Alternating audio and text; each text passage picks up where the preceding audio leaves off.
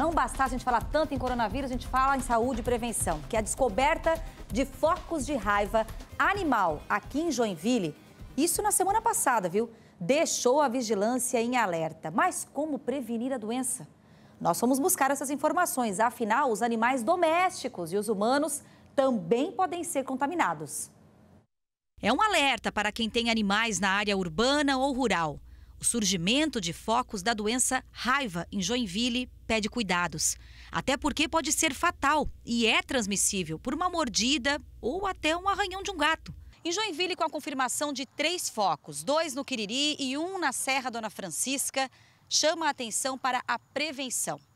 Além da picada pelo morcego, o transporte ilegal de cargas de animais que possam estar contaminados também colaboram. E o único meio para evitar é a vacina em bois, cavalos, suínos, por exemplo.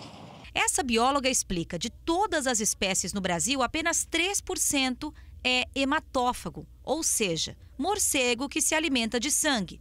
E são esses que podem passar a doença, pois eles que carregam o vírus causador. Os morcegos à noite, eles vão tomar o sangue, só esses, né, são duas ou três espécies aqui, de, dos cavalos, dos, das galinhas, e quando ele coloca a saliva ali para não coagular o sangue, ele vai transmitir, se ele tiver contaminado, a raiva.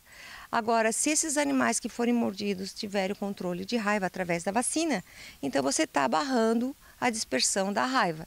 A vacina, o único meio para evitar, pode ser dada a partir dos três meses nos animais. E o veterinário o local para receber todas as orientações a quem possui em casa um animal. Gatos, cachorros podem também transmitir se estiverem contaminados. Na área rural, o proprietário deve notificar a SIDASC. Mesmo assim, acontece um trabalho de controle de raiva com monitoramento e orientações. Nos casos diagnosticados, aí é um acompanhamento direto e com delimitação geográfica, inclusive. Quando se detecta um foco de raiva, se traça um raio de 12 quilômetros a partir da propriedade onde o animal testou positivo e dentro dessa área, a vacinação é obrigatória a todos os herbívoros. Por ser obrigatória, ela vai ser cobrada do produtor rural. E os sintomas são bem específicos. Inicialmente, o animal ele pode se afastar do rebanho, ele vai apresentar uma salivação intensa, pode ter dificuldade de locomoção, que vai desenvolver por uma paralisia, principalmente do trem posterior, vai ficar deitado, não vai conseguir se levantar e vai fazer movimentos repetitivos das pernas, nós chamamos de movimento de pedalagem. Mas atenção, por ser um animal silvestre, é crime ambiental matar o morcego, até porque não são todos os causadores da raiva.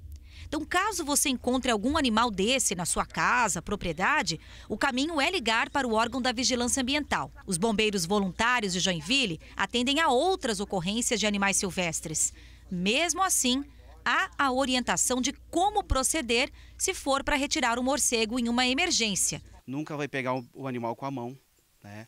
Vai, se precisar retirar, pode usar uma toalha, né? Mas sempre uma mão nunca, sempre com luvas. A gente também é comum ser chamado para morcegos que estão nos telhados.